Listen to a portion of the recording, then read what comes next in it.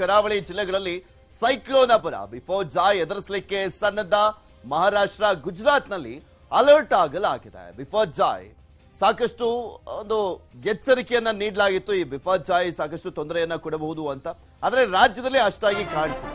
ಪಶ್ಚಿಮ ಕರಾವಳಿಯಲ್ಲಿ ಮಾತ್ರ ಬಿಫೋರ್ ಜಾಯ್ ಭೀತಿ ಕಾಣಿಸ್ತಾ ಇರುವಂತದ್ದು ಪಾಕಿಸ್ತಾನದಿಂದ ಕರ್ನಾಟಕ ಕರಾವಳಿಯವರೆಗೂ ಕೂಡ ಅಲರ್ಟ್ನಲ್ಲಿ ಇರುವಂತೆ ಸೂಚನೆಯನ್ನು ಕೊಟ್ಟಿತ್ತು ಹವಾಮಾನ ಇಲಾಖೆ. ಕರಾವಳಿ ತೀರದಲ್ಲಿ ಅಲರ್ಟ್ ಆಗಲಾಗಿತ್ತು. ಎನ್ಡಿಆರ್ಎಫ್ ನಿಯೋಜನೆಯನ್ನ ನಿಯೋಜನೆಯನ್ನು ಮಾಡಲಾಗಿದೆ. ಆದರೆ ಸ್ವಲ್ಪ ಮಟ್ಟಿಗೆ ಅದರ ಪರಿಣಾಮ, ಪ್ರಭಾವ ರಾಜ್ಯದಲ್ಲಿ ಕಡಿಮೆ ಆಗಿದೆ. ಬಟ್ ಬೇರೆ ರಾಜ್ಯಗಳಲ್ಲಿ ಅದರ ಎಫೆಕ್ಟ್ ದೊಡ್ಡ ಮಟ್ಟದಲ್ಲಿರುವಂಥದ್ದು. ಅದರಲ್ಲೂ ಸ್ಪೆಷಲಿ ಗುಜರಾತ್ನಲ್ಲಂತೂ ಭಾರಿ ಎಚ್ಚರಿಕೆಯನ್ನು ವಹಿಸಲಾಗಿದೆ. ಸುತ್ತಮುತ್ತ ಸಮುದ್ರ ತೀರದ ಕರಾವಳಿ ಭಾಗದ ಸಮುದ್ರ ತೀರದ ಜನರನ್ನ ಸ್ಥಳಾಂತರ ಮಾಡಲಾಗಿರುವಂಥದ್ದು. ಸಾಕಷ್ಟು ಎಚ್ಚರಿಕೆಯನ್ನ ಕೈಗೊಳ್ಳಲಾಗಿದೆ. ಸುಮಾರು ಒಂದು ಹದಿನೆಂಟು ಎನ್ ಡಿ ಆರ್ ಎಫ್ ತಂಡಗಳನ್ನ ಗುಜರಾತ್ನಲ್ಲಿ ನಿಯೋಜನೆ ಮಾಡಲಾಗಿರುವಂಥದ್ದು. ಮುಂಬೈಯಲ್ಲೂ ಕೂಡ ಅಷ್ಟೇ ಎಚ್ಚರಿಕೆಯನ್ನ ಕೈಗೊಳ್ಳಲಾಗಿರುವಂಥದ್ದು. ದಿಯು, ದಮನ್, ದ್ವಾರಕಾ, ಇಲ್ಲೆಲ್ಲ ಕಡೆನೂ ಕೂಡ ಸಾಕಷ್ಟು ಎಚ್ಚರಿಕೆಯನ್ನ ಕೈಗೊಳ್ಳಲಾಗಿದೆ. ಈ ಒಂದು ವಿಚಾರಕ್ಕೆ ಸಂಬಂಧಪಟ್ಟಂತೆ ನಿನ್ನೆ ಪ್ರಧಾನಮಂತ್ರಿಗಳು ಒಂದು ಸಭೆಯನ್ನು ಕೂಡ ಮಾಡಿದ್ರು. ಯಾವ ರೀತಿಯಾಗಿ ಎಚ್ಚರಿಕೆಯನ್ನು ಕೈಗೊಳ್ಳಲಾಗಿದೆ ಅಂತ.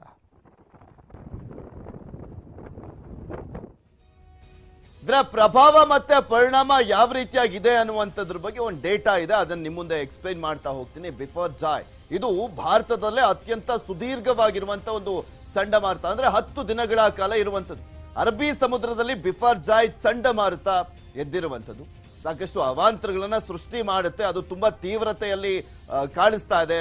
ಒಂದು ಬಿರುಗಾಳಿ ಹೆಚ್ಚಿನದಾಗಿ ಬೀಸ್ತಾ ಇರುವಂತದ್ದು ಅನ್ನುವಂತ ಎಚ್ಚರಿಕೆಯನ್ನು ನೀಡಲಾಗಿದೆ. ಜೂನ್ ಹದಿನೈದರಂದು ಗುಜರಾತ್ ಕರಾವಳಿಗೆ ಅಪ್ಪಳಿಸುವಂತ ಸಾಧ್ಯತೆ ಇದೆ. ಹದಿನೈದನೇ ತಾರೀಕು ಗುಜರಾತ್ಗೆ ದೊಡ್ಡ ಮಟ್ಟದಲ್ಲಿ ಎಫೆಕ್ಟ್ ಆಗುತ್ತೆ ಅನ್ನುವಂತ ಎಚ್ಚರಿಕೆ ನೀಡಲಾಗಿದೆ. ಐದು ದಿನಗಳ ಕಾಲ, ಹನ್ನೆರಡು ಗಂಟೆಗಳ ಕಾಲ ಇರಲಿರುವಂಥ ಒಂದು ಚಂಡಮಾರುತ ಇದು. ಹೆಚ್ಚಿನದಾಗಿ ಗುಜರಾತ್ನಲ್ಲಿ ಇದರ ಪರಿಣಾಮ ಬೀರುವಂತ ಸಾಧ್ಯತೆ ಇದೆ. ಪಶ್ಚಿಮ ಕರಾವಳಿಯಲ್ಲಿ ಹನ್ನೆರಡು ಎನ್ ಡಿ ಆರ್ ಎಫ್ ಟೀಮ್ಗಳನ್ನು ನಿಯೋಜನೆ ಮಾಡಲಾಗಿದೆ. ಯಾವುದೇ ರೀತಿಯಾಗಿ ಕೂಡ ಎಂತಹದ್ದೇ ಒಂದು ಸಂದಿಗ್ಧ ಪರಿಸ್ಥಿತಿ ಬಂದರೂ ಕೂಡ ಅದನ್ನ ಎದುರಿಸಬೇಕು ಅನ್ನುವಂತ ನಿಟ್ಟಿನಲ್ಲಿ ಇಪ್ಪತ್ತೊಂದು ಸಾವಿರಕ್ಕೂ ಅಧಿಕ ರಕ್ಷಣಾ ಬೋರ್ಡ್ಗಳನ್ನು ಇಲ್ಲಿ ನಿಯೋಜನೆ ಮಾಡಲಾಗಿರುವಂತದ್ದು ಸಮುದ್ರದ ತೀರದಲ್ಲಿ. ಏನೇ ಒಂದು ಪರಿಸ್ಥಿತಿ ಎದುರಾದರೂ ಕೂಡ ಅದನ್ನ ನಿಭಾಯಿಸುವಂತ ನಿಟ್ಟಿನಲ್ಲಿ ಇಪ್ಪತ್ತೊಂದು ಸಾವಿರ ರಕ್ಷಣಾ ಬೋರ್ಡ್ಗಳನ್ನು ನಿಯೋಜನೆ ಮಾಡಲಾಗಿದೆ. ಇನ್ನು ಗುಜರಾತ್ ಸಂಪರ್ಕಿಸುವಂತ ಅರವತ್ತೇಳು ರೈಲುಗಳ ಸಂಚಾರವನ್ನ ಕೂಡ ಬಂದ್ ಮಾಡಲಾಗಿದೆ. ಇಲ್ಲಿ ಈಗ ಆಲ್ರೆಡಿ ಆ ಭಾಗದಲ್ಲಿ ಹೆಚ್ಚಿನದಾಗಿ ಮಳೆ ಸುರಿತಾ ಇರುವಂಥದ್ದು. ಗುಜರಾತ್ನ ಎಲ್ಲಾ ಜಿಲ್ಲೆಗಳಲ್ಲೂ ಕೂಡ ರೆಡ್ ಅಲರ್ಟ್ ಅನ್ನ ಘೋಷಣೆ ಮಾಡಲಾಗಿದೆ. ಗುಜರಾತ್ನ ಎಲ್ಲಾ ಜಿಲ್ಲೆಗಳಲ್ಲಿ ರೆಡ್ ಅಲರ್ಟ್, ಪಾಕಿಸ್ತಾನ ಕರಾವಳಿಯಲ್ಲಿ ಎಂಬತ್ತು ಸಾವಿರಕ್ಕೂ ಅಧಿಕ ಜನರ ಸ್ಥಳಾಂತರ ಮಾಡಲಾಗಿದೆ. ಇಲ್ಲಿ ಜನರ ವಿಚಾರಕ್ಕೆ ಸಂಬಂಧಪಟ್ಟಂತೆ ನೋಡೋದಾದ್ರೆ, ಜನರಿಗೆ ತೊಂದರೆ ಆಗುವಂತದ್ದು ಕಡಿಮೆ. ಬಿಕಾಸ್ ಅವರೆಲ್ಲರನ್ನೂ ಕೂಡ ಸ್ಥಳಾಂತರ ಮಾಡಲಾಗಿದೆ. ಆದ್ರೆ ಆಸ್ತಿ ಪಾಸ್ತಿ ಕಳ್ಕೊಳ್ಳುವಂತ ಚಾನ್ಸಸ್ ದೊಡ್ಡ ಮಟ್ಟದಲ್ಲಿದೆ. ಸೊ ಹೀಗಾಗಿನೇ ಇಲ್ಲಿ ಹೆಚ್ಚಿನದಾಗಿ ಒಂದು ಎಚ್ಚರಿಕೆಯನ್ನ ಕೈಗೊಳ್ಳಲಾಗಿರುವಂಥದ್ದು ನಾನು ಆಗಲೇ ಹೇಳ್ತಾ ಇದ್ದೆ. ಪ್ರಧಾನಮಂತ್ರಿಗಳು ನಿನ್ನೆ ಇದೇ ಒಂದು ವಿಚಾರಕ್ಕೆ ಸಂಬಂಧಪಟ್ಟಂತೆ ಬಿಫರ್ ಜಾಯಿಂದ ಸಾಕಷ್ಟು ತೊಂದರೆ ಆಗುವಂತ ನಿರೀಕ್ಷೆ ಇರುವಂತ ಹಿನ್ನೆಲೆಯಲ್ಲಿ ಒಂದು ಸಭೆಯನ್ನ ಕೂಡ ಮಾಡಿದ್ರು. ಚಂಡಮಾರುತದ ಕ್ಷಣ ಕ್ಷಣದ ಮಾಹಿತಿಯನ್ನ ಸಂಗ್ರಹಿಸಿದ್ರು ಪ್ರಧಾನಮಂತ್ರಿ ನರೇಂದ್ರ ಮೋದಿ ಅವರು. ನಾನು ಆಗ್ಲೇ ಹೇಳದ್ನಲ್ಲ, ಒಂದು ಸುದೀರ್ಘವಾದಂತ ಒಂದು ಚಂಡಮಾರುತ ಇದು. ದೀರ್ಘಕಾಲದಲ್ಲಿ ಇರುವಂತ ಒಂದು ಚಂಡಮಾರುತ ಭಾರತದಲ್ಲಿ ಇದೇನೆ. ಈ ಹಿಂದೆ ಒಂದು ಒಂಬತ್ತು ದಿನಗಳ ಕಾಲ ಹದಿನೈದು ಗಂಟೆ ಇದ್ದಿದ್ದಂಥದ್ದು ಒಂದು ರೆಕಾರ್ಡ್ ಇತ್ತು. ಈಗ ಅದನ್ನ ಬೀಟ್ ಮಾಡಿದೆ ಈ ಒಂದು ಬಿಫೋರ್ ಜಾಯ್ ಚಂಡಮಾರುತ, ಊಟ, ವಸತಿ, ನೀರಿನ ಸಮಸ್ಯೆ ಯಾವುದೂ ಕೂಡ ಆಗಬಾರ್ದು ಜನರಿಗೆ. ಆ ನಿಟ್ಟಿನಲ್ಲಿ ಎಲ್ಲಾ ರೀತಿಯಾದಂಥ ವ್ಯವಸ್ಥೆಯನ್ನ ಮಾಡ್ಕೊಂಡಿರಿ ಮುಂಚೆನೆ ಅಂತ ಅಧಿಕಾರಿಗಳಿಗೆ, ಆಯಾಯ ರಾಜ್ಯದ ಮುಖ್ಯಮಂತ್ರಿಗಳಿಗೆ ಸೂಚನೆಯನ್ನ ಕೊಡಲಾಗಿದೆ. ವಿದ್ಯುತ್ ಸಂಪರ್ಕ, ಅಗತ್ಯ ಸೇವೆ, ಆರೋಗ್ಯ ಸೇವೆ ಯಾವುದೇ ಆಗಲಿ, ಯಾವುದು ಪ್ರಾಬ್ಲಮ್ ಆಗಬಾರ್ದು. ಆ ಒಂದು ನಿಟ್ಟಿನಲ್ಲಿ ಏನೇನೆಲ್ಲ ಕ್ರಮಗಳನ್ನ ಕೈಗೊಳ್ಬೋದು, ಕ್ರಮ ಕೈಗೊಳ್ಳಿ ಅಂತ ಸೂಚನೆ ಹೋಗಿದೆ. ಎಲ್ಲದರ ಬಗ್ಗೆನೂ ಕೂಡ ಕಾಳಜಿ ಇರಲಿ. ನಿರ್ಲಕ್ಷ್ಯ ಮಾತ್ರ ಬೇಡವೇ ಬೇಡ. ಸ್ವಲ್ಪನೂ ಕೂಡ ಬೇಜವಾಬ್ದಾರಿ ತೋರಿಸ್ಬೇಡಿ. ಈ ವಿಚಾರದಲ್ಲಿ ಅನ್ನುವಂಥ ಸೂಚನೆಯನ್ನ ಕೊಡಲಾಗಿದೆ. ದೋಣಿಗಳು, ಜಾನುವಾರುಗಳ ಸುರಕ್ಷತೆಗೂ ಕೂಡ ಗಮನವನ್ನ ಕೊಡಬೇಕು ಅನ್ನುವಂಥದ್ದು ಬರೀ ಜನರು ಮಾತ್ರ ಅಲ್ಲ. ಅಲ್ಲಿರುವಂತಹ ಜಾನುವಾರುಗಳ ಬಗ್ಗೆನೂ, ಪ್ರಾಣಿಗಳ ಬಗ್ಗೆನೂ ಕೂಡ ಕಾನ್ಸಂಟ್ರೇಟ್ ಮಾಡಿ ಅನ್ನುವಂಥ ಸೂಚನೆಯನ್ನ ನೀಡಲಾಗಿದೆ. ಜನರಿಗೆ ನೆರವಾಗ್ಲಿಕ್ಕೆ twenty four cross seven helpline ಅನ್ನ ತೆರೆದಿಡಬೇಕು. ಯಾವುದೇ ಒಂದು ಸಮಸ್ಯೆ ಎದುರಾದರೂ ಕೂಡ ಜನರಿಗೆ ಆ ಒಂದು ನಂಬರ್ ಗೊತ್ತಿರಬೇಕು, ಕರೆಯನ್ನ ಮಾಡಿದಂತ ಸಂದರ್ಭದಲ್ಲಿ ಸೂಕ್ತ ರೀತಿಯಲ್ಲಿ ಸ್ಪಂದಿಸಬೇಕು ಅಂತ ಸೂಚನೆಯನ್ನ ನೀಡಲಾಗಿದೆ. ಎಲ್ಲಿಂದ ಆರಂಭ ಆಗಿ ಎಲ್ಲಿಗೆ ಅಂತ್ಯ ಆಗ್ತಾ ಇದೆ ಈ ಬಿಫೋರ್ ಜಾಯ್ ಸೈಕ್ಲೋನ್ ಅಂತ ನಾವು ನೋಡೋದಾದ್ರೆ ನಿಮಗೆ ತೋರಿಸ್ತಾ ಇದ್ವಿ ದೃಶ್ಯಾವಳಿಗಳಲ್ಲಿ. ಬಿಫೋರ್ ಜಾಯ್ ಆರಂಭ ಎಲ್ಲಿಂದ ಆಗತ್ತೆ ಅನ್ನುವಂಥದ್ದನ್ನ ಗಮನಿಸಬಹುದು ನೀವು. ಇದು ಎಂಡ್ ಆಗುವಂಥದ್ದು ಪಾಕಿಸ್ತಾನದಲ್ಲಿ ಸಾಕ್ತಾ ಇರುವಂತ ಸ್ಥಳವನ್ನ ಕೂಡ ನಿಮಗೆ ತೋರಿಸ್ತಾ ಇದ್ವಿ. ಈಗ ಆಲ್ರೆಡಿ ನಮ್ಮ ರಾಜ್ಯದ ಕರಾವಳಿ ಭಾಗದಲ್ಲಿ ಸಾಗ್ತಾ ಇದೆ. ಬಿಫೋರ್ ಜಾಯ್ ಅಂತ್ಯ ಆಗುವಂಥದ್ದು ಗುಜರಾತ್, ನಂತರ ಪಾಕಿಸ್ತಾನದಲ್ಲಿ ಅಂತ್ಯ ಆಗುತ್ತೆ ಸಿಂಧ್ ಪ್ರಾಂತ್ಯ ಇದೆಯಲ್ಲ, ಪಾಕಿಸ್ತಾನದ ಸಿಂಧ್ ಪ್ರಾಂತ್ಯ. ಅಲ್ಲಿ ಅಂತ್ಯ ಆಗುತ್ತೆ. ಇದ್ರ ಬಗ್ಗೆ ಒಂದು ರೂಟ್ ಮ್ಯಾಪ್ ಅನ್ನು ನಿಮಗೆ ತೋರಿಸ್ತಾ ಇದ್ವಿ. ಗಮನಿಸಬಹುದು ನೀವು. ಪಾಕಿಸ್ತಾನ, ಗುಜರಾತ್, ಅದು ಇನ್ನೇನು ಕರಾವಳಿ ಭಾಗ ಅಲ್ಲಿ ಹೊಂದ್ಕೊಂಡಿ ಹೊಂದ್ಕೊಂಡಂತೆ ಇರುವಂಥದ್ದು. ಸೊ ಹೀಗಾಗಿ ಆ ಭಾಗದಲ್ಲಿ ಬಿಫೋರ್ ಜಾಯ್ ಎಂಡ್ ಆಗುತ್ತೆ. ಅಲ್ಲೇ ಅತಿ ವೇಗವಾಗಿ ಅತಿ ಹೆಚ್ಚಿನದಾಗಿ ಪರಿಣಾಮವನ್ನ, ಪ್ರಭಾವವನ್ನ ಬೀರುತ್ತೆ ಅನ್ನುವಂಥದ್ದು ಬಗ್ಗೆ ಈಗ ಆಲ್ರೆಡಿ ಹವಾಮಾನ ಇಲಾಖೆ ಎಚ್ಚರಿಕೆಯನ್ನ ಕೊಟ್ಟ ಕೊಡಲಾಗಿರುವಂಥದ್ದು. ಸೊ ಹೀಗಾಗಿ ಎಲ್ಲಾ ರೀತಿಯಾದಂತ ವ್ಯವಸ್ಥೆಯನ್ನ ಮಾಡ್ಕೊಂಡಿದ್ದಾವೆ ಆಯಾಯ ರಾಜ್ಯಗಳು. ಬಿಕಾಸ್ ಮಹಾರಾಷ್ಟ್ರದಲ್ಲೂ ಕೂಡ ಇದರ ಪರಿಣಾಮ ತಡ್ತಾ ಇದೆ. ಇದೆಲ್ಲದ್ರ ಬಗ್ಗೆ ಇನ್ನಷ್ಟು ಮಾಹಿತಿಯನ್ನ ನೀಡ್ತಾ ಹೋಗ್ತಾರೆ. ನಮ್ಮ ಡೆಪ್ಯೂಟಿ ನ್ಯೂಸ್ ಎಡಿಟರ್ ಆಗಿರುವಂತ ರಾಘವೇಂದ್ರ ಗುಡಿ ನಮ್ಮ ಜೊತೆ ನೇರ ಸಂಪರ್ಕದಲ್ಲಿ ಜಾಯ್ನ್ ಆಗ್ತಾ ಇದ್ದಾರೆ. ಗುಡಿ ನೋಡ್ತಾ ಇದ್ವಿ. ಬಿಫೋರ್ ಜಾಯ್ ಚಂಡಮಾರುತ ಇದು ಭಾರತದಲ್ಲೇ ಅತ್ಯಂತ ಸುದೀರ್ಘವಾಗಿ ಇರುವಂತ ಒಂದು ಚಂಡಮಾರುತ ಅನ್ನುವಂಥದ್ದು ಕೂಡ ಈಗ ಗೊತ್ತಾಗ್ತಾ ಇರುವಂಥದ್ದು. ಇದರ ಪ್ರಭಾವ ಮತ್ತೆ ಪರಿಣಾಮ ಯಾವ ರೀತಿಯಾಗಿ ಆಗ್ಬೋದು ಮತ್ತೆ ಯಾವ್ಯಾವ ರೀತಿಯಾಗಿ ಎಚ್ಚರಿಕೆಯನ್ನು ವಹಿಸಲಾಗಿದೆ ಅಂತ. ವೆರಿ ಸಿವಿಯರ್ ಸೈಕ್ಲಾನಿಕ್ ಸ್ಟಾರ್ಮ್ ಅಂತ ಇದನ್ನ ಪರಿಗಣಿಸಲಾಗಿದೆ ಪೃಥ್ವಿ. ಇದೇ ಕಾರಣದಿಂದಾಗಿ ಸಾಕಷ್ಟು ಮುನ್ನೆಚ್ಚರಿಕೆಗಳನ್ನ ತೆಗೆದುಕೊಳ್ಳಲಾಗ್ತಾ ಇದೆ. ಇನ್ನ ಈ ಬಿಪರ್ಜಾಯ್ ವಿಷಯಗಳಿಗೆ ಬಂದಾಗ ಈ ಸಾಕಷ್ಟು ದೊಡ್ಡ ಮಟ್ಟದಲ್ಲಿ ಬಿರುಗಾಳಿಯನ್ನ ಬರ್ತಾ ಇದೆ. ಅರವತ್ತರಿಂದ ಎಪ್ಪತ್ತು ಕಿಲೋಮೀಟರ್ ವೇಗದಲ್ಲಿ ಪ್ರತಿ ಗಂಟೆಗೆ ಈ ಬಿರುಗಾಳಿ ಬೀಸ್ತಾ ಇರುವಂತದ್ದು. ಇದರ ಜೊತೆಯಲ್ಲಿ ಮೋಡವನ್ನು ಕೂಡ ಹೊತ್ತು ತೋರುತ್ತೆ. ಹೀಗಾಗಿ ದೊಡ್ಡ ಪ್ರಮಾಣದಲ್ಲಿ ಮಳೆ ಕೂಡ ಆಗುತ್ತೆ. ಈಗ ಕಳೆದ ಎಪ್ಪತ್ತೆರಡು ಗಂಟೆಗಳ ಹಿಂದೆ ಇದು ಕರಾಚಿಗೆ ಎಂಟ್ರಿ ಆಗಿತ್ತು. ಇಲ್ಲಿವರೆಗೂ ಸುಮಾರು ಐವತ್ತಕ್ಕೂ ಹೆಚ್ಚು ಜನರ ಪ್ರಾಣವನ್ನ ಇದು ತೆಗೆದುಕೊಂಡಿದೆ ಅಂತ ಹೇಳಿ ಮಾಹಿತಿ ಇದೆ. ಅಲ್ಲಿಂದ ಈಗ ಅದು ಸಿಂಧ್ಗೆ ಎಂಟ್ರಿ ಆಗುತ್ತೆ. ಸಿಂಧ್ನಿಂದ ಭಾರತದ ಕಡೆಗೆ ಈಗ ಮುಖವನ್ನ ಮಾಡ್ತಾ ಇದೆ. ಪ್ರಾರಂಭಿಕವಾಗಿ ಇದು ಓಮನ್ ಕಡೆ ಹೋಗುತ್ತಾ ಅಥವಾ ಭಾರತದ ಕಡೆ ತಿರುಗುತ್ತಾ ಅಂತ ಪ್ರಶ್ನೆಗಳಿತ್ತು. ಕೆಲವು ಚಾನ್ಸಸ್ಗಳು ಓಮನ್ ಕಡೆನೂ ತಿರುಗಿಕೊಳ್ಬಹುದಂತ ಇತ್ತು. ಆದ್ರೆ ಈಗ ಸದ್ಯದ ಬರ್ತಿರ್ತಕ್ಕಂಥ ಸೆಟಲೈಟ್ ಮಾಹಿತಿಯನ್ನ ನೋಡಿದಾಗ ಇದು ಭಾರತಕ್ಕೆ ಎಂಟ್ರಿ ಆಗ್ತಾ ಇದೆ. ಇವತ್ತು ಮಧ್ಯಾಹ್ನ ಎರಡೂವರೆ ನಂತರದಲ್ಲಿ ಇದರ ಪರಿಣಾಮಗಳು ದೊಡ್ಡ ಮಟ್ಟದಲ್ಲಿ ಕಾಣೋದಕ್ಕೆ ಶುರುವಾಗ್ತವೆ. ಗುಜರಾತ್ ಕೋಸ್ಟಲ್ ಏರಿಯಾದಲ್ಲಿ ತದನಂತರದಲ್ಲಿ ಹದಿನೈದನೇ ತಾರೀಕಿಗೆ ಇದು ಸಂಪೂರ್ಣವಾಗಿ ವಿತ್ ಫುಲ್ ಫೋರ್ಸ್ ಅಂತಾರಲ್ಲ, ಆ ರೀತಿಯಾಗಿ ಭಾರತಕ್ಕೆ ಎಂಟ್ರಿ ಕೊಡುತ್ತೆ. ಇದೇ ಕಾರಣದಿಂದಾಗಿ ಒಂದು ಕೋಸ್ಟಲ್ ಏರಿಯಾದಲ್ಲಿ ಇರ್ತಕ್ಕಂಥದ್ದು, ಅಂದ್ರೆ ಈಗ ಇದು ಗುಜರಾತ್ಗೆ ಎಂಟ್ರಿ ಆದ್ರೂ ಕೂಡ ಕೇವಲ ಗುಜರಾತ್ನಲ್ಲಿ ಮಾತ್ರ ಇದರ ಪರಿಣಾಮ ಇರುತ್ತಿಲ್ಲ ಬದಲಾಗಿ ರಾಜಸ್ಥಾನದ ಜೈಪುರವರೆಗೂ ಕೂಡ ಇದರ ಪರಿಣಾಮ ಹರಡಿಕೊಳ್ಳುವಂತ ಸಾಧ್ಯತೆಗಳಿದಾವೆ. ಅಲ್ಲಿವರೆಗೂ ಕೂಡ ಇದು ಭೀಕರವಾಗಿರ್ತಕ್ಕಂಥ ಮಳೆಯನ್ನ ಹೊತ್ತು ತರುತ್ತೆ, ಗಾಳಿಯನ್ನ ಹೊತ್ತು ತರುತ್ತೆ. ಇದೇ ಕಾರಣದಿಂದಾಗಿ ಪ್ರಧಾನಮಂತ್ರಿ ನರೇಂದ್ರ ಮೋದಿ ಅವರು ಕೂಡ ಸಪ್ತ ಸೂತ್ರವನ್ನ ಕೊಟ್ಟಿದ್ದಾರೆ. ಅಂದ್ರೆ ಯಾವ ರೀತಿಯಾದಂತಹ ಪ್ರಿಪರೇಷನ್ಸ್ ಗಳನ್ನ ಮಾಡ್ಕೊಳ್ಬೇಕು ಅಂತ ಒಂದು ಕಡೆಯಿಂದ ಕೇಂದ್ರ ಸರ್ಕಾರ ಪ್ರಿಪರೇಷನ್ಸ್ ಗಳನ್ನ ಮಾಡ್ತಾ ಇದೆ. ಹನ್ನೆರಡಕ್ಕೂ ಹೆಚ್ಚು ಎನ್ ಡಿ ಆರ್ ಎಫ್ ತಂಡಗಳನ್ನ ಈಗ ಆಲ್ರೆಡಿ ನಿಯೋಜನೆ ಮಾಡಲಾಗಿದೆ. ಸ್ಪೀಡ್ ಬೋಟ್ ಬೋಟ್ ಗಳನ್ನ ನಿಯೋಜನೆ ಮಾಡಲಾಗಿದೆ. ಅಂದ್ರೆ ಕೋಸ್ಟಲ್ ಪ್ರದೇಶದಲ್ಲಿ, ತೀರ ಪ್ರದೇಶಕ್ಕೆ ಇದು ಬಂದ ಅಪ್ಪಳಿಸಂತ ಸಂದರ್ಭದಲ್ಲಿ ಯಾರಾದ್ರೂ ಸಿಲುಕಿಕೊಂಡಾಗ ಅವರ ರಕ್ಷಣೆಗೆ ಬೇಕಾಗಿರ್ತಕ್ಕಂಥ ವ್ಯವಸ್ಥೆಗಳನ್ನ ಮಾಡಿಕೊಳ್ಳಾಗ್ತಾ ಇದೆ.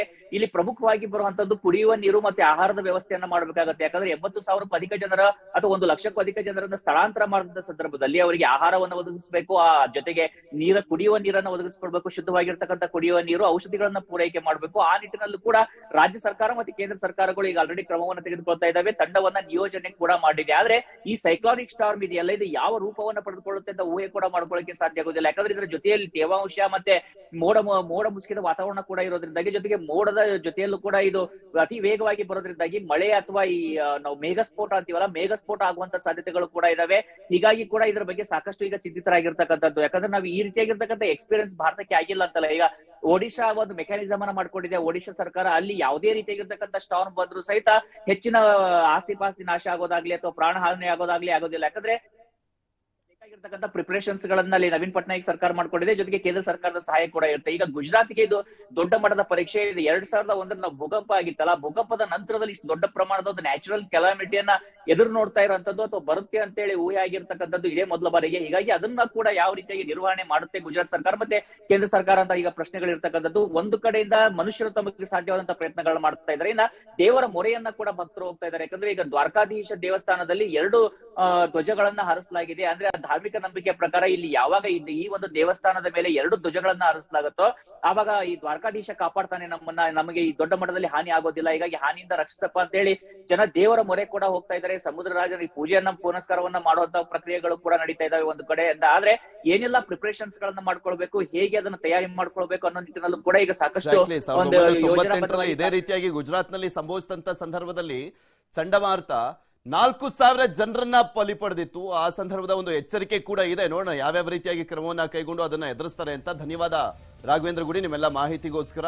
ನಮ್ಮ ಮುಂದಿನ ಸುದ್ದಿಗೆ ಬೆಂಗಳೂರು ಮೈಸೂರು ಎಕ್ಸ್ಪ್ರೆಸ್ ವೇ ಇದೆಯಲ್ಲ, ಯಾವಾಗ್ಲೂ ಕೂಡ ಒಂದು ಟೀಕೆ ಇರುವಂತದ್ದು ಗಮನಿಸಿದೀವಿ. ಸ್ಪೆಷಲಿ ಟೋಲ್ ವಿಚಾರಕ್ಕೆ ಸಂಬಂಧಪಟ್ಟಂತೆ. ಈಗ ಆಲ್ರೆಡಿ ದುಬಾರಿಯಾಗೇ ಇತ್ತು ಅಲ್ಲಿ ಟೋಲ್ ಸಂಗ್ರಹ ಮಾಡ್ತಾ ಇದ್ದಂತ ವಿಚಾರ. ಆಗ ವಾಪಸ್ ಮಾಡಿದ್ರು. ಅಂದ್ರೆ ಈಗ ಹಿಂದೆ ಟೋಲ್ ಸಂಗ್ರಹಿಸುವಂತ ವಿಚಾರಕ್ಕೆ ಸಂಬಂಧಪಟ್ಟಂತೆ ಒನ್ ತರ್ಟಿ ಫೈವ್ ಇದ್ದಾಗ ಮತ್ತೆ ಜಾಸ್ತಿ ಮಾಡಿದ್ರು, ಏಪ್ರಿಲ್ ಒಂದರಲ್ಲಿ.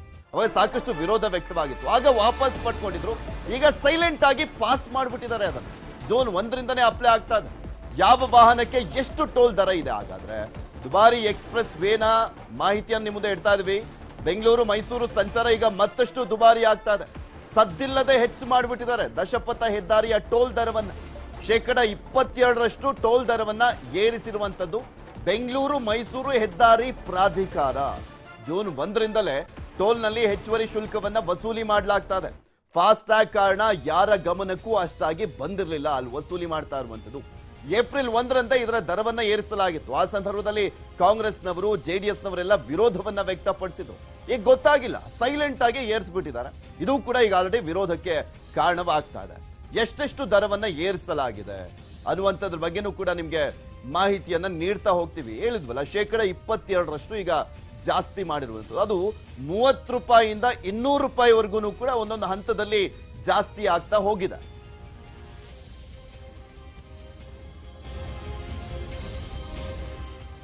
ಯಾವ್ಯಾವ ರೀತಿಯಾಗಿ ದರವನ್ನ ಏರಿಸಲಾಗಿದೆ ಅನ್ನುವಂಥದ್ರ ಬಗ್ಗೆ ನಿಮಗೆ ಮಾಹಿತಿಯನ್ನ ನೀಡ್ತಾ ಹೋಗ್ತೀವಿ. ಈ ಹಿಂದೆ ಎಷ್ಟಿತ್ತು, ಈಗ ಯಾವ ರೀತಿಯಾಗಿ ದರವನ್ನ ಜಾಸ್ತಿ ಮಾಡಲಾಗಿದೆ ಅನ್ನುವಂಥದ್ದನ್ನು ನೋಡೋದಾದ್ರೆ. ಈ ಹಿಂದೆನೇ ಜಾಸ್ತಿ ಇತ್ತು. ಆಲ್ರೆಡಿ ಇದು ಟೀಕೆಗೆ ಒಳಗಾಗಿತ್ತು. ಈ ಹಿಂದಿನ ದರ, ಹಳೆಯ ದರ ನೂರ ಮೂವತ್ತೈದು ರೂಪಾಯಿ ಇತ್ತು. ಈಗ ಹೊಸ ದರ ನೂರ ಅರವತ್ತೈದು ರೂಪಾಯಿ ಆಗಿದೆ. ಅಂದ್ರೆ ಶೇಕಡ ಇಪ್ಪತ್ತೆರಡು ರೂಪಾಯಿ ಇಪ್ಪತ್ತೆರಡು ಪರ್ಸೆಂಟ್ ಅಂದ್ರೆ ಮೂವತ್ತು ರೂಪಾಯಿ ಜಾಸ್ತಿ ಆಗಿರುವಂಥದ್ದು. ಇದು ಏಕಮುಖ ಸಂಚಾರಕ್ಕೆ ಮಾತ್ರ. ಕಾರು, ವ್ಯಾನು, ಜೀಪ್ಗಳಿಗೆ ಇದು ಅಪ್ಲೈ ಆಗುತ್ತೆ. ನಾವು ಉಳಿದಂತೆ ನಾವು ನೋಡೋದಾದ್ರೆ, ಹಳೆಯ ದರ, ಲಘು ವಾಹನ, ಮಿನಿ ಬಸ್ಗೆ ಈ ಹಿಂದೆ ಎಷ್ಟು ಇತ್ತು ಅಂದ್ರೆ ಏಕಮುಖ ಸಂಚಾರ. ಅಂದ್ರೆ ಒಂದ್ ಸೈಡ್ ಹೋದಂತ ಟೈಮ್ನಲ್ಲಿ ನಾವು ತೋರಿಸ್ತಾ ಇರೋದು. ಹಳೆ ದರ ಇನ್ನೂರ ಇಪ್ಪತ್ತು ರೂಪಾಯಿ ಇತ್ತು, ಈಗ ಹೊಸ ದರ ಇನ್ನೂರ ಎಪ್ಪತ್ತು ರೂಪಾಯಿ ಆಗಿದೆ. ಅಂದ್ರೆ ಐವತ್ತು ರೂಪಾಯಿ ಜಾಸ್ತಿ ಆಗಿರುವಂಥದ್ದು. ಜೂನ್ ಒಂದರಿಂದಲೇ ಈಗ ಆಲ್ರೆಡಿ ಕಲೆಕ್ಟ್ ಮಾಡ್ತಾ ಇದ್ದಾರೆ. ಇನ್ನ ಟ್ರಕ್ಕು, ಬಸ್ಸು, ಎರಡು ಆಕ್ಸೆಲ್ ವಾಹನವನ್ನ ನೋಡೋದಾದ್ರೆ ನಾನೂರ ಅರವತ್ತು ರೂಪಾಯಿ ಇತ್ತು ಈ ಮುಂಚೆ, ಈಗ ಐನೂರ ಅರವತ್ತೈದು ರೂಪಾಯಿ ಆಗಿದೆ. ಅಂದ್ರೆ ಹತ್ತತ್ರ ನೂರ ಐದು ರೂಪಾಯಿ ಜಾಸ್ತಿ ಆಗಿರುವಂಥದ್ದು. ಇಲ್ಲೂ ಕೂಡ ಶೇಕಡ ಇಪ್ಪತ್ತೆರಡರಷ್ಟು ಅಪ್ಲೈ ಮಾಡಿರುವಂಥದ್ದು. ಇನ್ನು ಹಳೆ ದರ ಈ ಹಿಂದಿನ ವಿಚಾರಕ್ಕೆ ಸಂಬಂಧಪಟ್ಟಂತೆ ಗಮನಿಸೋದಾದ್ರೆ ತ್ರೀ ಆಕ್ಸೆಲ್ ವಾಹನಕ್ಕೆ ಐನೂರು ರೂಪಾಯಿ ಇತ್ತು, ಈಗ ಆರ್ನೂರ ಹದಿನೈದು ರೂಪಾಯಿ ಮಾಡಲಾಗಿದೆ. ನೂರ ಹದಿನೈದು ರೂಪಾಯಿ ಜಾಸ್ತಿ ಆದಂತಾಗಿದೆ. ಈಗ ಆಲ್ರೆಡಿ ಅವೈಜ್ಞಾನಿಕವಾಗಿ ಕಾಮಗಾರಿ ನಡೆದಿದೆ ಅನ್ನುವಂಥ ವಿಚಾರಕ್ಕೆ ಸಂಬಂಧಪಟ್ಟಂತೆ ಸಾಕಷ್ಟು ಟೀಕೆಯನ್ನು ಎದುರಿಸ್ತಾ ಇತ್ತು ಬೆಂಗಳೂರು ಮೈಸೂರು ಎಕ್ಸ್ಪ್ರೆಸ್ ವೇ ನಾ ಭಾರಿ ವಾಹನದ ವಿಚಾರಕ್ಕೆ ಸಂಬಂಧಪಟ್ಟಂತೆ ಗಮನಿಸೋದಾದ್ರೆ, ಹಳೆ ದರ ಏಳ್ನೂರ ಇಪ್ಪತ್ತು ರೂಪಾಯಿ ಇತ್ತು. ಈಗ ಹೊಸ ದರ ಎಂಟುನೂರ ಎಂಬತ್ತೈದು ರೂಪಾಯಿ ಮಾಡಲಾಗಿದೆ. ವ್ಯತ್ಯಾಸ ನೂರ ಅರವತ್ತೈದು ರೂಪಾಯಿ. ನೂರ ಅರವತ್ತೈದು ರೂಪಾಯಿ ವ್ಯತ್ಯಾಸ ಇದೆ ಇಲ್ಲಿ. ಇನ್ನ ಸೆವೆನ್ ಆಕ್ಸೆಲ್ ವಾಹನ ಗಮನಿಸೋದಾದ್ರೆ. ಹಳೆ ದರ ಎಂಟುನೂರ ಎಂಬತ್ತು ರೂಪಾಯಿ ಇತ್ತು, ಈಗ ಹೊಸ ದರ ಸಾವಿರದ ಎಂಬತ್ತು ರೂಪಾಯಿ ಇದೆ. ವ್ಯತ್ಯಾಸ ಇನ್ನೂರು ರೂಪಾಯಿ. ಇದು ಬರೀ ಒನ್ ವೇಗೆ ನಾವು ಹೇಳ್ತಾ ಇರೋದು. ಅಪ್ ಅಂಡ್ ಡೌನ್ಗೆ ಇದ್ರೆ, ಇದೇ ರೀತಿಯಾಗಿ ಡಬಲ್ ಇರುತ್ತೆ. ಅಂದ್ರೆ ಸೆವೆನ್ ಆಕ್ಸೆಲ್ ವಾಹನ ಅಪ್ ಅಂಡ್ ಡೌನ್ ಬರಬೇಕು ಅಂದ್ರೆ ಹತ್ತತ್ರ ಎರಡ್ ಸಾವಿರ ರೂಪಾಯಿ ಕಟ್ಟಬೇಕಾಗುತ್ತೆ ಈ ರೀತಿಯಾಗಿ ವೆಚ್ಚಗಳು ಜಾಸ್ತಿ ಆಗಿರುವಂತದ್ದು ಇದ್ರ ಬಗ್ಗೆ ಇನ್ನಷ್ಟು ಮಾಹಿತಿಯನ್ನು ನೀಡ್ತಾ ಹೋಗ್ತೇನೆ ನಮ್ಮ ರಾಮನಗರದ ಪ್ರತಿನಿಧಿ ವೆಂಕಟೇಶ್. ನಮ್ಮ ಜೊತೆ ನೇರ ಸಂಪರ್ಕದಲ್ಲಿ ಜಾಯಿನ್ ಆಗ್ತಾ ಇದ್ದಾರೆ. ವೆಂಕಟೇಶ್, ಈ ಹಿಂದಿನ ದರಕ್ಕೇನೆ ಸಾಕಷ್ಟು ವಿರೋಧ ವ್ಯಕ್ತವಾಗಿತ್ತು. ಈಗ ಗೊತ್ತಿಲ್ಲದ ರೀತಿಯಲ್ಲಿ ಮತ್ತೆ ಶೇಕಡ ಇಪ್ಪತ್ತೆರಡರಷ್ಟು ದರವನ್ನ ಜಾಸ್ತಿ ಮಾಡಿದ್ದಾರೆ. ಇದು ಯಾವ ರೀತಿಯಾಗಿ ಆಕ್ರೋಶಕ್ಕೆ ಗುರಿಯಾಗಿದೆ ವಾಹನ ಸವಾರರಲ್ಲಿ?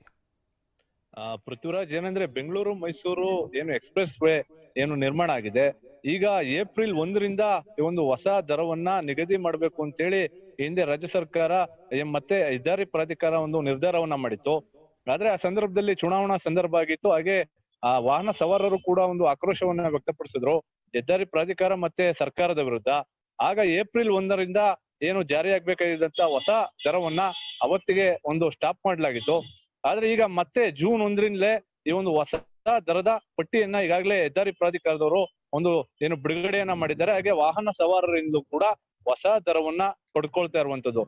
ಏನಂದ್ರೆ ಮೂವತ್ತು ರೂಪಾಯಿಯಿಂದ ಇನ್ನೂರು ರೂಪಾಯಿವರೆಗೆ ಸಂಪೂರ್ಣವಾಗಿ ಏನು ಇಪ್ಪತ್ತೆರಡು ಪರ್ಸೆಂಟ್ ಹೆಚ್ಚಿನ ಹಣವನ್ನ ವಾಹನ ಸವಾರರಿಂದ ವಸೂಲಿಯನ್ನ ಮಾಡ್ಲಾಗ್ತಾ ಇದೆ. ಇದು ಎಲ್ಲೋ ಒಂದು ಕಡೆ ಏನು ರಾಷ್ಟ್ರೀಯ ಹೆದ್ದಾರಿ ಪ್ರಾಧಿಕಾರದವರು ಮಾಡಿರುವಂತ ಈ ಒಂದು ಕ್ರಮದ ವಿರುದ್ಧ ವಾಹನ ಸವಾರರು ಕೂಡ ಸಾಕಷ್ಟು ಒಂದು ಆಕ್ರೋಶವನ್ನ ವ್ಯಕ್ತಪಡಿಸ್ತಾ ಇದ್ದಾರೆ. ಯಾಕೆಂದ್ರೆ ಬೆಂಗಳೂರು ಮೈಸೂರು ಎಕ್ಸ್ಪ್ರೆಸ್ ವೇ ಏನು ನಿರ್ಮಾಣ ಆಗಿದೆ. ಇನ್ನೂ ಕೂಡ ಹಲವೆಡೆ ಅಂಡರ್ ಪಾಸ್ಗಳು ಕೂಡ ಸರಿಯಾಗಿ ನಿರ್ಮಾಣ ಆಗಿಲ್ಲ. ಹಾಗೆ ಅವೈಜ್ಞಾನಿಕವಾಗಿ ಕಾಮಗಾರಿಯನ್ನ ಮಾಡಿದ್ದಾರೆ ಅಂತ ಹೇಳಿ ಈಗಾಗಲೇ ಸಾಕಷ್ಟು ಹೋರಾಟಗಳು ಕೂಡ ನಡೆದಿದೆ. ಈ ನಡುವೆ ಒಂದು ದರವನ್ನು ಕೂಡ ಹೆಚ್ಚಿಗೆ ಮಾಡಿರುವಂತದ್ದು ಸಾಕಷ್ಟು ಆಕ್ರೋಶಕ್ಕೆ ಕಾರಣ ಆಗಿದೆ ಆದ್ರೆ ಈ ವಿಚಾರವಾಗಿ ಹೆದ್ದಾರಿ ಪ್ರಾಧಿಕಾರದ ಯಾವೊಬ್ಬ ಅಧಿಕಾರಿ ಕೂಡ ಯಾವುದೇ ಒಂದು ಮಾಹಿತಿಯನ್ನು ಕೂಡ ಕೊಡ್ತಾ ಇಲ್ಲ. ಸ್ಥಳೀಯವಾಗಿ ಜನಪ್ರತಿನಿಧಿಗಳಿಗೂ ಕೂಡ ಈ ಬಗ್ಗೆ ಮಾಹಿತಿ ಇಲ್ಲ ಇಲ್ಲ ಎನ್ನುವಂಥದ್ದು ಕೂಡ ಇಲ್ಲಿ ಗಮನಾರ್ಹ Prithviraj.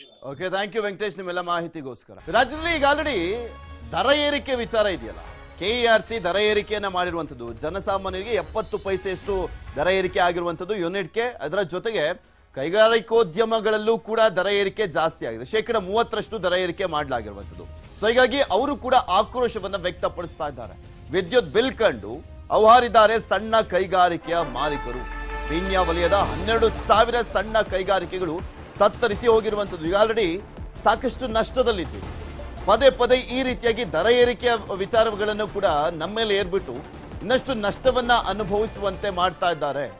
ಏಷ್ಯಾದಲ್ಲೇ ಸುಪ್ರಸಿದ್ಧ ಬೆಂಗಳೂರಿನ ಪೀಣ್ಯ ಕೈಗಾರಿಕೆ ಬಿಡಿಭಾಗದ ಮಾಲೀಕರು ಆಕ್ರೋಶವನ್ನು ವ್ಯಕ್ತಪಡಿಸ್ತಾ ಇದ್ದಾರೆ. ಬಿಡಿಭಾಗ ತಯಾರಿಸುವಂತ ಐದು ಸಾವಿರ ಕೈಗಾರಿಕೆಗಳಿಗೆ ಸಂಕಷ್ಟ ಎದುರಾಗಿದೆ. ಕರೆಂಟ್ ಮೇಲೆ ಹೆಚ್ಚು ಅವಲಂಬಿತವಾಗಿರುವಂತ ಕೈಗಾರಿಕೆಗಳು ಇವು. ಸೊ ಇದರಿಂದನೇ ನಮಗೆ ಇನ್ನೂ ಹೆಚ್ಚಿನ ನಷ್ಟ ಸಂಭವಿಸುತ್ತೆ ಈ ರೀತಿಯಾಗಿ ಏರಿಕೆ ಮಾಡ್ತಾ ಹೋದ್ರೆ ಅಂತ ಅವರು ಅಸಮಾಧಾನವನ್ನು ಹೊರಹಾಕಿದ್ದಾರೆ. ಹಾಗಾದ್ರೆ ಕೈಗಾರಿಕೋದ್ಯಮಗಳಲ್ಲಿ ಎಷ್ಟರ ಮಟ್ಟಿಗೆ ವಿದ್ಯುತ್ ದರವನ್ನ ಏರಿಕೆ ಮಾಡಲಾಗಿದೆ ಅನ್ನುವಂಥದ್ರ ಬಗ್ಗೆನೂ ಕೂಡ ಒಂದು ಮಾಹಿತಿಯನ್ನ ನಿಮ್ಮ ಮುಂದೆ ಇಡ್ತಾ ಇದ್ದೀವಿ ವಾಣಿಜ್ಯ, ಬಳಕೆ, ವಿದ್ಯುತ್ ಶೇಕಡ ಮೂವತ್ತರಷ್ಟು ಏರಿಕೆ ಮಾಡಲಾಗಿರುವಂಥದ್ದು. ಮೂವತ್ತರಷ್ಟು ಏರಿಕೆ ಆಗಿದೆ. ಮೊದಲು ಪ್ರತಿ ಯೂನಿಟ್ಗೆ ಆರು ಪಾಯಿಂಟ್ ಏಳು ಐದು ಪೈಸೆಯನ್ನ ಅಂದ್ರೆ ಒಂದು ಯೂನಿಟ್ಗೆ ಚಾರ್ಜ್ ಮಾಡ್ತಾ ಇದ್ರು. ಈಗ ಎಂಟು ಪಾಯಿಂಟ್ ಐದು ಸೊನ್ನೆ ರೂಪಾಯಿಯನ್ನ ಚಾರ್ಜ್ ಮಾಡಲಾಗ್ತದೆ ಹತ್ತತ್ರ ಒಂದೂವರೆಯಿಂದ ಎರಡು ರೂಪಾಯಿವರೆಗೂ ಜಾಸ್ತಿ ಆಗಿರುವಂಥದ್ದು ಪ್ರತಿ ಯೂನಿಟ್ಗೆ. ನಿಗದಿತ ಶುಲ್ಕ ಶೇಕಡ ನಲವತ್ತರಿಂದ ಅರವತ್ತರಷ್ಟು ಹೆಚ್ಚಳ ಮಾಡಿರುವಂಥದ್ದು ಕೂಡ ಆಕ್ರೋಶಕ್ಕೆ ಗುರಿಯಾಗಿದೆ. ಸೊ ಹೀಗಾಗಿನೇ ನಮಗೆ ಕಡಿಮೆ ಮಾಡಿಕೊಡಿ, ನಮ್ಗೆ ಏನಾದರೂ ಬೇರೆ ಪರ್ಯಾಯವಾಗಿ ಆಪ್ಷನ್ಸ್ ಇದ್ರೆ ಮಾಡಿಕೊಡಿ ಅಂತ ಸರ್ಕಾರವನ್ನ ಕೇಳ್ತಾ ಇದ್ದಾರೆ. ಇನ್ನ ಇನ್ನ ಸಣ್ಣ ಕೈಗಾರಿಕೆಗಳು ಏನು ಬೇಡಿಕೆಗಳನ್ನು ಮುಂದಿಟ್ಟಿದ್ದಾರೆ ರಾಜ್ಯ ಸರ್ಕಾರದ ಮುಂದೆ ಅಂತ ನಾವು ಗಮನಿಸೋದಾದ್ರೆ, ಸಣ್ಣ ಕೈಗಾರಿಕೆಗಳಿಗೆ ಉತ್ತೇಜನ ಕೊಡಿ ಅಂತ ಕೇಳ್ತಾ ಇದ್ದಾರೆ. ನಮಗೂ ಕೂಡ ನಮ್ಮ ವ್ಯಾಪಾರ ವಹಿವಾಟನ್ನು ಜಾಸ್ತಿ ಮಾಡುವಂಥ ನಿಟ್ಟಿನಲ್ಲಿ ಉತ್ತೇಜನ ಕೊಡುವಂಥ ಕೆಲಸವನ್ನು ಸರ್ಕಾರ ಮಾಡಬೇಕು ಅಂತ ಕೇಳ್ತಾ ಇದ್ದಾರೆ. ಈಗ ಆಲ್ರೆಡಿ ನಾವು ಸಂಕಷ್ಟದಲ್ಲಿ ಇದ್ದೀವಿ. ಕೊರೋನಾದ ನಂತರ ನಾವು ಉದ್ಯಮವನ್ನು ನಡೆಸುವಂಥದ್ದೇ ಒಂದು ದೊಡ್ಡ ಸವಾಲಾಗಿದೆ. ಅಂಥದ್ರಲ್ಲಿ ಈ ರೀತಿಯಾಗಿ ಬರೆ ಎಳಿಬೇಡಿ ಅಂತ ಕೇಳ್ಕೊಳ್ತಾ ಇದ್ದಾರೆ. ಕೋವಿಡ್ ಹೊಡೆತದಿಂದ ತತ್ತರಿಸಿ ಹೋಗಿದ್ದೇವೆ. ಅದರಿಂದನೇ ಇನ್ನೂ ಹೊರಗೆ ಬರಲಿಕ್ಕೆ ಆಗ್ತಾ ಇಲ್ಲ ಅಂತ. ಸರ್ಕಾರ ಸಣ್ಣ ಕೈಗಾರಿಕೆಗಳಿಗೆ ನೆರವಾಗಬೇಕಾಗಿದೆ. ಸೊ ನಮಗೂ ಕೂಡ ನೆರವನ್ನು ನೀಡಿ ಅಂತ ಕೇಳ್ತಾ ಇದ್ದಾರೆ. ಅದರಲ್ಲೂ ಸ್ಪೆಷಲಿ ವಿದ್ಯುತ್ ಬೆಲೆಯಲ್ಲಿ ರಿಯಾಯಿತಿ ನೀಡಬೇಕು. ನೀವು ನೆರವು ನೀಡೋದಾದ್ರೆ ಮೇನ್ ಆಗಿ ವಿದ್ಯುತ್ ಬೆಲೆಯಲ್ಲಿ ರಿಯಾಯಿತಿ ಕೊಡಿ ಅಂತ ಕೇಳ್ತು ಕೇಳ್ತಾ ಇದ್ದಾರೆ. ಇದಕ್ಕೆ ಯಾವ ರೀತಿಯಾಗಿ ಸರ್ಕಾರ ಸ್ಪಂದಿಸುತ್ತೆ ಅನ್ನುವಂಥದ್ದನ್ನ ಕಾದ್ ನೋಡಬೇಕಾಗಿದೆ. ಇದೆಲ್ಲದ್ರ ಬಗ್ಗೆನೂ ಕೂಡ ಮತ್ತಷ್ಟು ಮಾಹಿತಿಯನ್ನು ನೀಡ್ತಾ ಹೋಗ್ತಾರೆ ನಮ್ಮ ಪ್ರತಿನಿಧಿ ಶರಣು ಹಂಪಿ. ನಮ್ಮ ಜೊತೆ ನೇರ ಸಂಪರ್ಕದಲ್ಲಿ ಜಾಯ್ನ್ ಆಗ್ತಾ ಇದ್ದಾರೆ. ಶರಣು ನೋಡ್ತಾ ಇದ್ವಿ. ಈಗ ಆಲ್ರೆಡಿ ಜನಸಾಮಾನ್ಯರು ಆಕ್ರೋಶವನ್ನ ವ್ಯಕ್ತಪಡಿಸ್ತಾ ಇದ್ರು. ಈಗ ಸಣ್ಣ ಕೈಗಾರಿಕೆಯ ಉದ್ಯಮಿಗಳು ಯಾವ ರೀತಿಯಾಗಿ ಅಸಮಾಧಾನ, ಆಕ್ರೋಶವನ್ನ ವ್ಯಕ್ತಪಡಿಸ್ತಾ ಇದ್ದಾರೆ ರಿಯಾಯಿತಿ ಕೇಳ್ತಾ ಇದ್ರು. ಇದ್ರ ಬಗ್ಗೆ ಏನಾದ್ರೂ ಮುಖ್ಯಮಂತ್ರಿಗಳನ್ನ ಭೇಟಿ ಮಾಡಿ ಮನವಿಯನ್ನ ಸಲ್ಲಿಸಲಿದ್ದಾರಾ ಅಂತ?